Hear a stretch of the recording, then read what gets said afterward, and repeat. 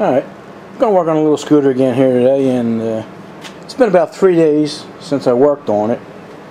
And uh, since then here's the back wheel I was here's the front wheel I was going to use. You know it's kind of square. It's actually a back wheel for uh, there's the holes for the sprockets. It's actually a back wheel I think for a smaller scooter but see the way that protrudes there? It, it would have it would have looked awkward anyway.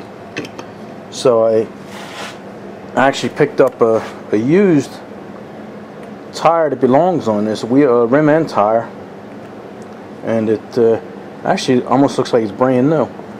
Still got the little titties here on the on the rubber, and the rim. The rim is shiny, almost like it was never used. So, so that'll be good. Here's the is the original tire on that one, and this is uh, it goes with the same model as that, the E300. So when the little dirt bike gets here, might not be for a couple days or so, I'll have him work on this front here and cut that up and uh, make something that'll hold that. But while we're waiting for that, this is it's been three days and that's Aerokroil in there and that hasn't gone down. But let me go around here. One good thing is the valves work okay. That's fine. And here's the other one. I juice that one up and that one works fine. But uh, it's odd because uh, I know a piston ain't that tight in there. And here's the head. I juice that up and it looks like uh, some of the fluid went down, which is good. And uh, let that focus in there. Maybe it's not gonna. But anyway, looks like uh, I don't know if some of the fluid leaked through or not. I don't know. But we're going to try and take that spark plug out. Alright, and then uh, maybe we'll try and take some of these side plates off here. Actually, only one side plate. Take your side plate off and uh, disconnect the connecting rod and uh, see see what we got to deal with. Take the bottom off and everything.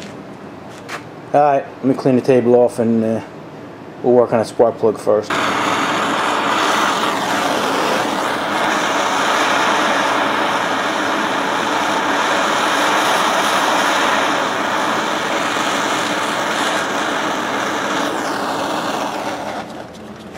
Alright, I juiced it up and heated it up and uh, I'm still not very optimistic. So I got this uh, BA pipe wrench here and uh, we're going to try it. Put my safety glasses on in case something jumps up at me. I think maybe uh, I'll try and shock it a little bit.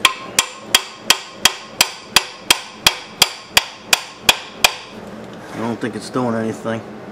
I don't think it's doing anything. Oh, something's giving. Yep, I just snapped it. Uh, I had a feeling I was going to do that. I think we're going to have to wind up drilling that out and uh, and maybe retap, not retapping it, but just clearing it up. Alright, let me grab a pair of pliers, get that out of the way. Alright, we're in this together. Let's look at it.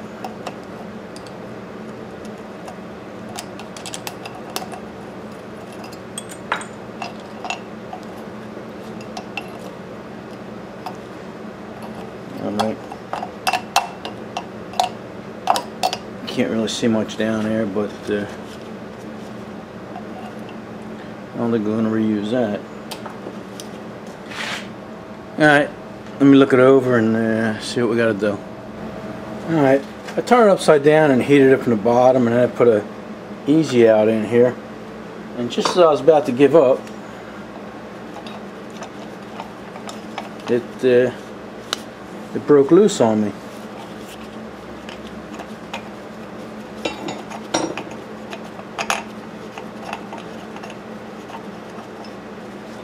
So there you go. Yeah, my next step would have been to uh, get my little my little saw and uh, saw just about till I hit the threads and then chisel it out. But uh, the heat did that.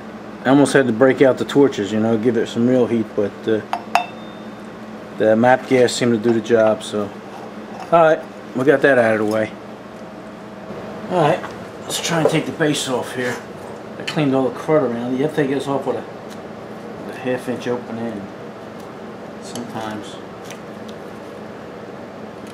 Uh, I'm not, able to do that.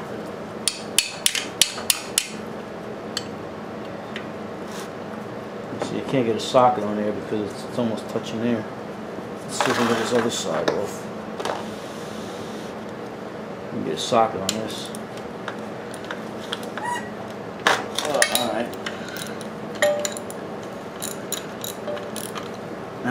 Up. So this, this one here shouldn't be that tough.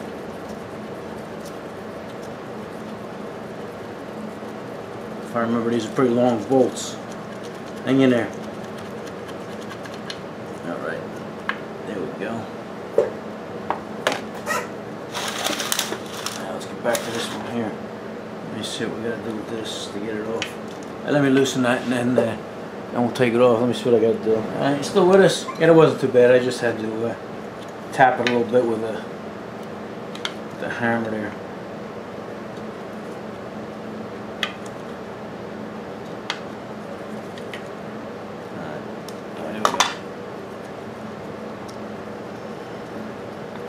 Alright, we're gonna look at this together.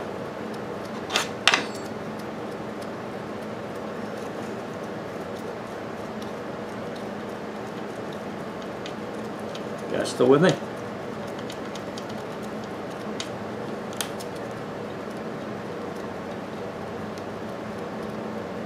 Alright, wow. It's a long fine thread there. Looks like it's wore out too. Alright, let's give this a little hit and uh, with a road can. Holding it up one hand. Alright. Alright. No oil in there. And this is pretty dry.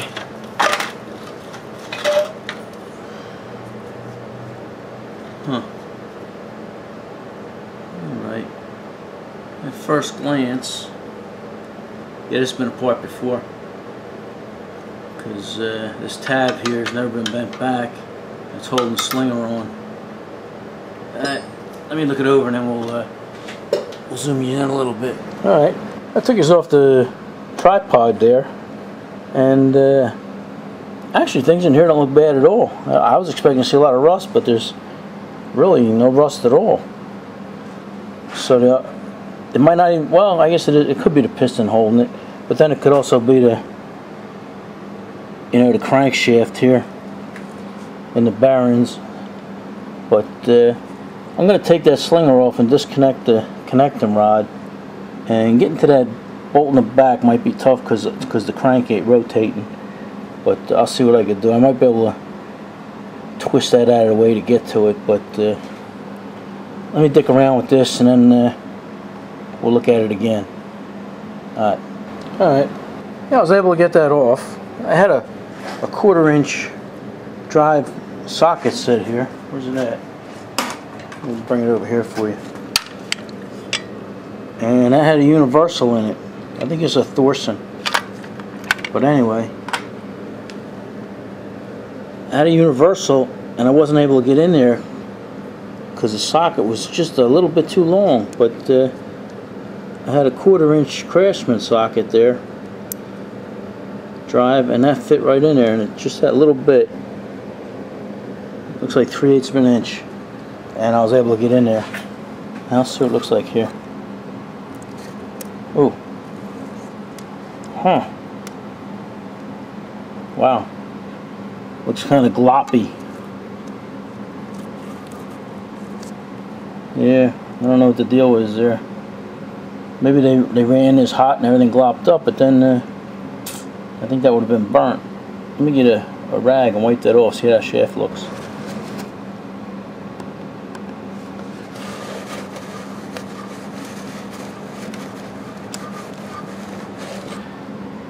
Hmm. Actually looks pretty good.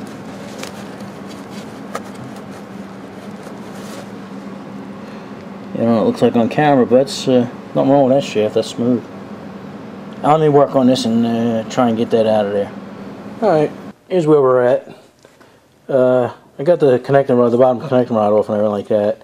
and you see the crank is moving so that, that's not what was seizing it up and the camshaft is moving nice uh, I had it up on a vise already and I, I was hitting it pretty good with block of wood and a hammer and that piston wasn't moving at all so I turned it upside down here and I, I squirted some uh, down there on on the edge of the piston and I'm going to let that soak overnight. And uh, then I'll try hitting it with the with the hammer again. You know if I get a little movement out of it then then it'll come out you know then I can hit from the other end. But uh, as it sits now with the connecting rod in the way I can't get the crank or the cam out. So it's not like I can uh, shoot the piston out through the bottom. I'm going to put it back up in the, vise again and we'll uh, we'll try beating it with a hammer and see if uh, we get any movement out of it. Alright I had Kroil on the bottom of it and a coil on the top again here and uh, we'll see what happens. And if I say like I say if, if this don't move then uh, we'll bring it over to the press and, and get a little movement because I, I got about an inch of movement I, I can get out of it. But let's see what happens here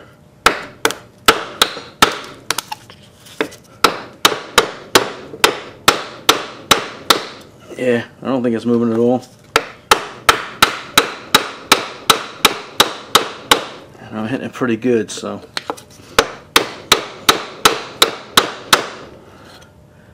I don't see any movement at all Oh, wait, wait, I think we're getting something. Unless I'm just crushing the wood here. Yeah, I think we're getting a little movement out of it. That's a good sign. Alright, so what I'm going to do is, uh, we did get quite a bit of movement out of it.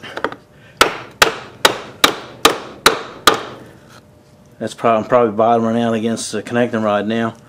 So what I'll do is, uh, I'll polish that all up in there and then uh, we'll go at it from the back side. Alright, here's what we did. Let me put the light on for you there. I got that piston down as far as it'll go. It's up against the crankshaft.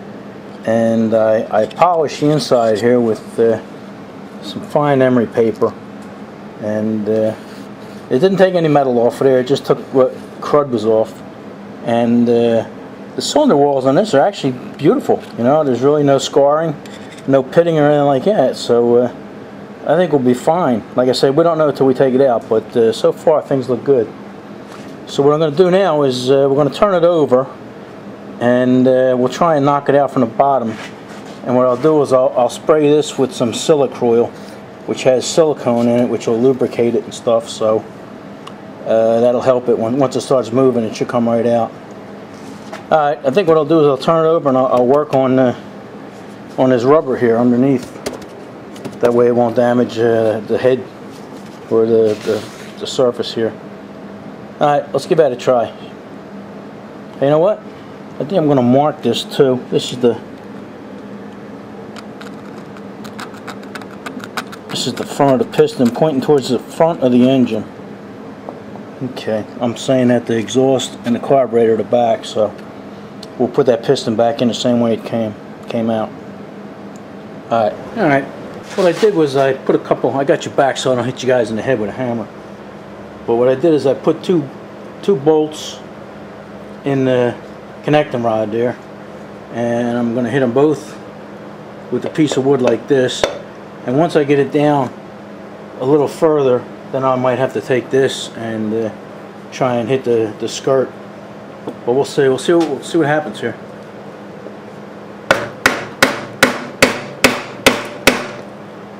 All right.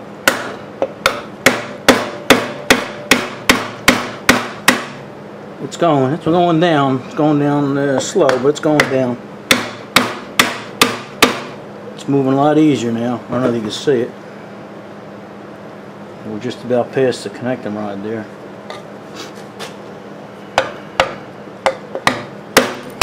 Okay. About equal now. Alright, now I'm going to go down in here and, and see if I can just hit the skirt. Alright, let me see what's going on. Alright, it's working good. I, I hit the skirt a little bit, and now I'm able to just hit the, the bolt here, and it's actually, I'm hitting the table now. So uh, that, the piston's moving pretty good now. And let me set it up so uh, the piston will pop out. Alright, I got you guys set up down there, so uh, let me hit this from the top here, and it should come out. Should be like having a baby.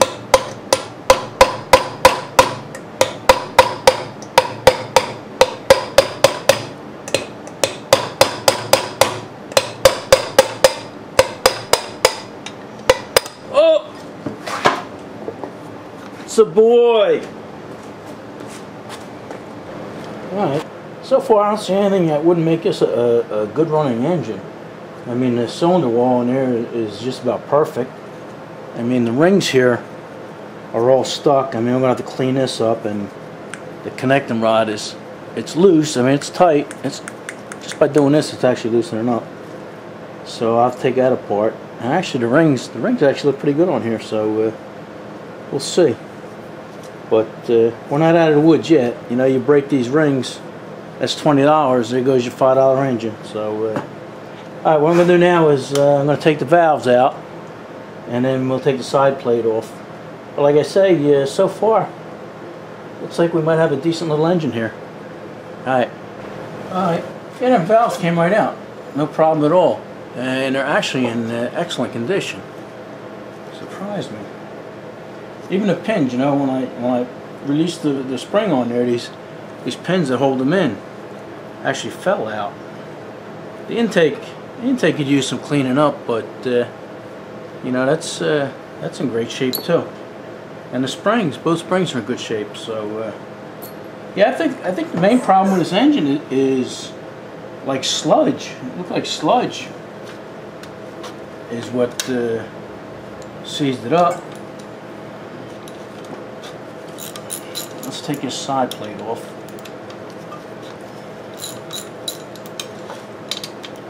Take the crank out. Let me loosen them up and I'll turn you back on. Alright, get the bolts out. I'll see if we can uh, get the side cover off here. I got the magic hammer. That hasn't made an appearance in a while. Oh, oh that sounds pretty hard. Pretty tight. Sounds pretty tight there.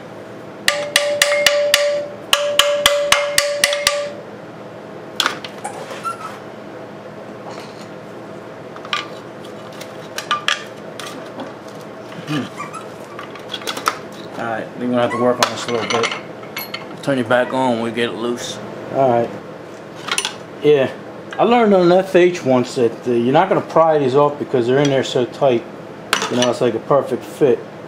And the way, the way I finally took it off the FH was use the crankshaft. There you go. Look at that. Look at that. It's funny the things you learn working on working on these all the time. Alright, let's see what else we got here.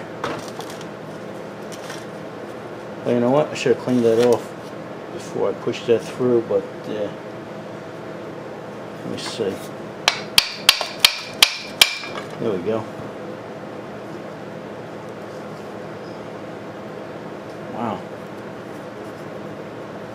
Even that, even the, even the crank looks beautiful. Unbelievable. Now, yeah. If I tried to save that gasket, I would have broke that. But I'm going to replace that anyway. The gasket's still in good shape. Alright, I'm going to have to uh, take the pin out, drive the pin out, take the uh, camshaft out.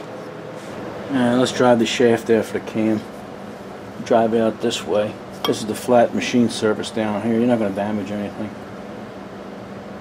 And what I do is I have a little gap here in the vise.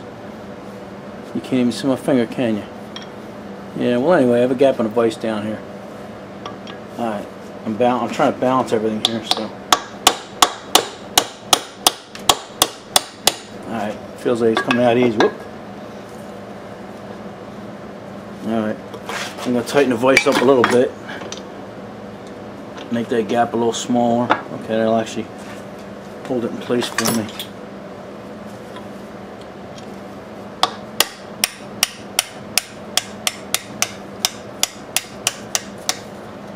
I'm going to catch on the bottom here.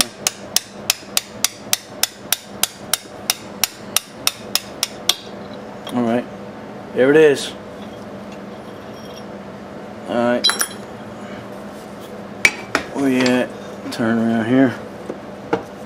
Get the cam out now. There we go. And that actually looks pretty good too. Huh. There's something strange I've never seen before. Let me move this down here. This actually has a hole in the side there, but it doesn't look like it's meant to be there. Not that it's doing any damage. Just, uh, I don't know. I don't know. Like I said, I've never seen one with a hole like that. manufactured defect, but uh, the teeth and the gears and the, the lobes are perfect. Beautiful. Alright. Alright, here's where we're at. Yeah, this engine, I think this engine is actually might be a, a diamond in a rough. I mean, it looked like it was all rusted to hell and stuff like that, but every machine surface in this thing is perfect. You know? So, we're able to save the head, that'll clean up.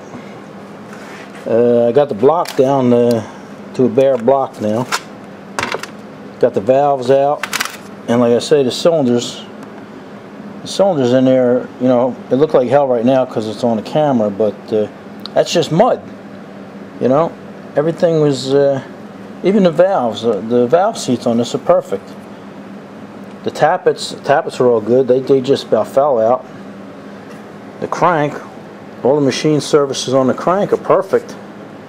So, uh, yeah, this this keyed shaft here, we're probably going to clad weld that and bring that up to 5 8 so it'll take a 5 8 clutch. And this is the worst part of it. That's all rotted away, and that really doesn't doesn't mean anything to us. That'll go inside the, the starter clutch. You can actually cut that off, unless you're you're to put a bell on there, a starter bell. But uh, threads, everything is good. This uh, this crankshaft is perfect. Like I say, all the all the bearings in this, bearings on this side and the bearings here are perfect. So uh, what I got to do is uh, try and save these rings and clean this piston up, and uh, I think we're gonna have a good engine. So uh, next time I see you, I guess I'll be working on the the scoot itself. But for now, I guess uh, that'll be enough for this, eh? All right. See you later.